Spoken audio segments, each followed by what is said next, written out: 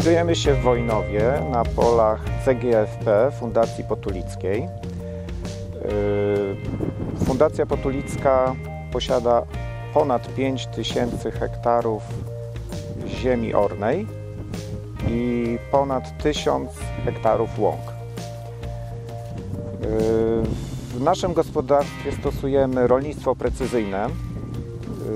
Jesteśmy bardzo zadowoleni z tego rolnictwa, ponieważ yy, wszystko mamy pod kontrolą i, i praca się stała dla nas przyjemnością.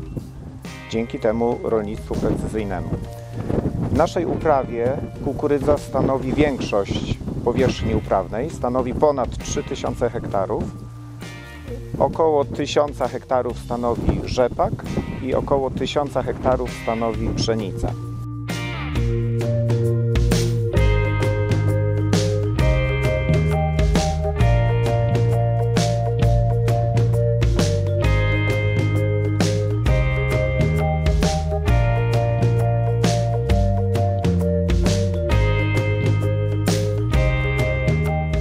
Obecnie znajdujemy się podczas żniw kukurydzianych. Mamy do, do wykoszenia około ponad 3000 hektarów kukurydzy.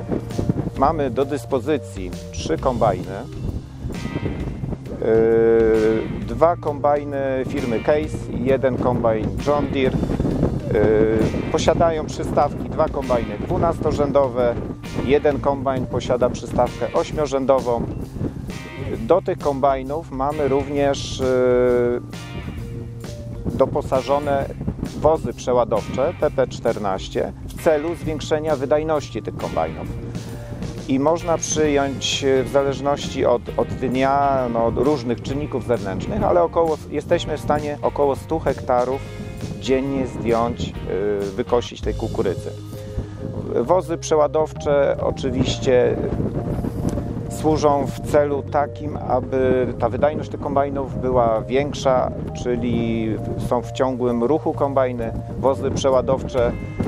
yy, Mimo, że mamy również wagi, czyli możemy kontrolować wydajność, bo na podstawie właśnie też tych wozów przeładowczych dokonuje się kalibracji kombajnów, ponieważ yy, gdy kombajnista wykosi określony areał, operadu, operator podaje mu z wozu przeładowczego wagę, wówczas on sobie wpisuje wydajność z hektara i na podstawie tego tworzy się mapę i mamy po skoszeniu danego pola możliwość ewidencji wydajności yy, z hektara yy, kukurydzy czy tam innego zboża.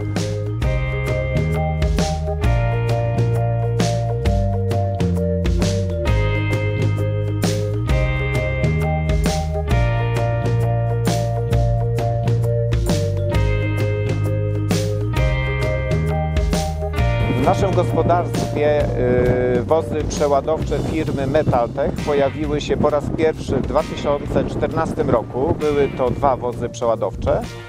W 2016 roku pojawił się trzeci wóz przeładowczy. Są to wozy przeładowcze PP14 y, i one mm, w naszych warunkach sprawdzają się najbardziej zadowalająco dla nas.